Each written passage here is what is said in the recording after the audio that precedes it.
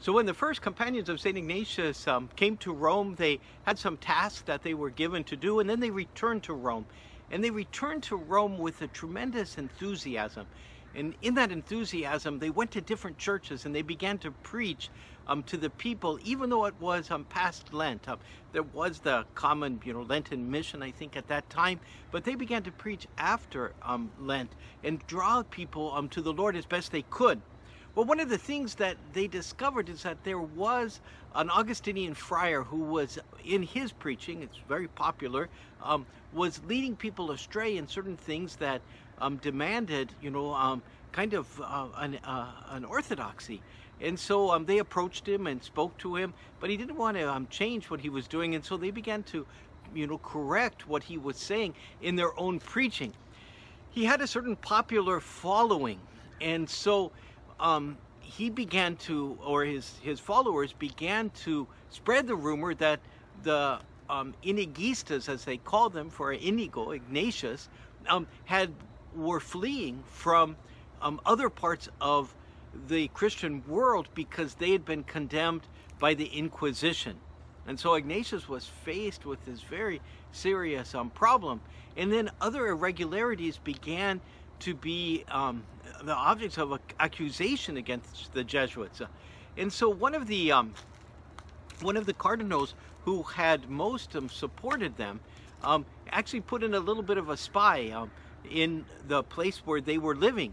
And so this was a worker in the, uh, this vineyard that was where they were living.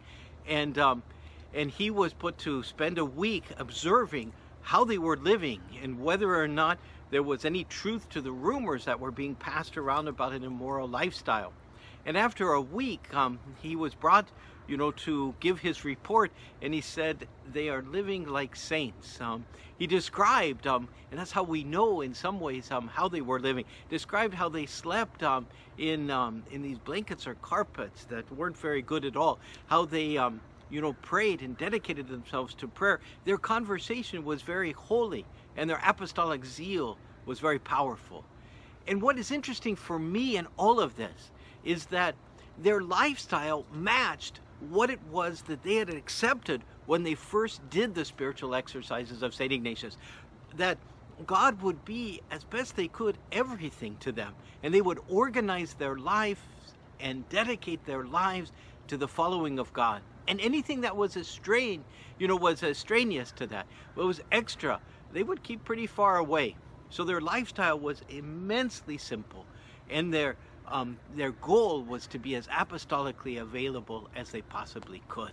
And in this, this wisdom of Ignatius that they drew from the spiritual exercises can be so helpful for ourselves as we ask ourselves, in the lives that we are living, are we living up to the vocation that we are supposed to live? As I live here, do I live as simply, perhaps, as I should?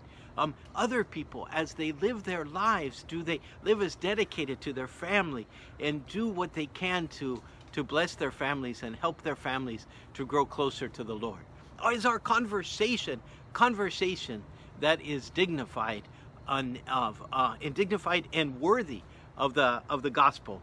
How is it that we live that our whole lives can be models in it as best we can of what it is to live convinced of the love of God and wanting to share that with others? And that's the wisdom of St. Ignatius for today.